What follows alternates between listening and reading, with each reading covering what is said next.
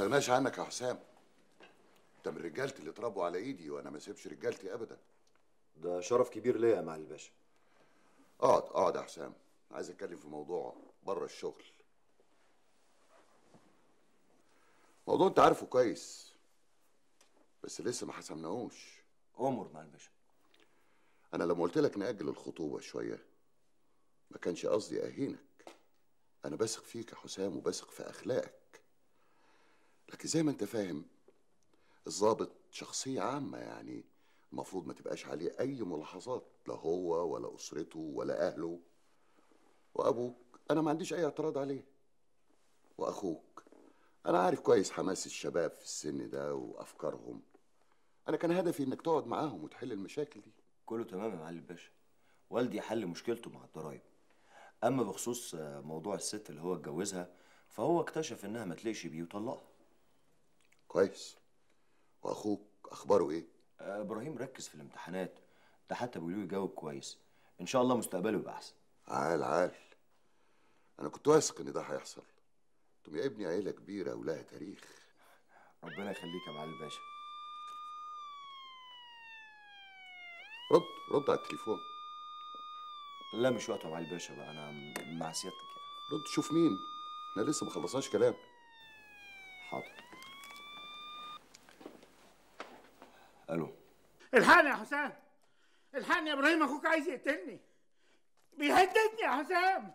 أنا خايف أطلع من المحل يكون مستنيني بره ولا معاه سكينة ولا نيلة ولا حاجة. إبراهيم اتجنن بجد. اقبضوا عليه. جيبوه دلوقتي يا حسام. طيب حاضر. أنا هشوف الموضوع ده. بقول لك خلاص أنا هتصرف. في حاجة يا حسام؟ لا يا معالي الباشا مفيش حاجة. لا في حاجة. وشك متغير. مين اللي بيكلمك؟ ده ده بابا. طب اديهولي اديهولي اكلمه. يا بابا سيادة اللواء عايز يكلمك. سيادة اللواء. على حمادة بيه. إزيك وإزاي أخبارك؟ وإزاي نونا هانم؟ بتقول إيه؟ إيه؟ خير. إبراهيم؟ ماله؟ طب إيه ده بس؟ إيه ده؟ عشان أفهم. انت بتقول إيه؟ يقتلك.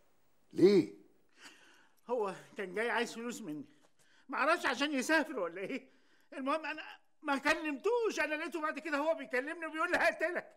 تصور يا ست اللواء لا الداخلية لازم تحميني. أرجوك يا ست اللواء ال- الواد ده مش أول مرة. أنت عارف إن هو بالليل مرة راح يتهجم على الفيلا؟ أيوه يا فندم. ارجوك يا ست اللواء حسام ممكن ما يعملش أي حاجة. ممكن ياخدها على قد عقلي ويطنش. أنا قلت لك أهو يعني لو جرالي حاجة دم في رقبتك. لا ما تخافش يا حماده بيه إحنا هنعمل اللازم مع السلامة. أنا آسف يا معالي الباشا. الموضوع ده يتحل فورا وبأقصى سرعة. يتحل يا معالي الباشا. تيجي فين بس يا ماما؟ بقول لك الواد المجنون ده عايز يقتلني. أنا كلمت حسام ومش بس حسام كلمت اللي هو إيهاب كمان. أنا مش هخرج من الحل ولا هفتح الباب ده غير لما يمسكوه.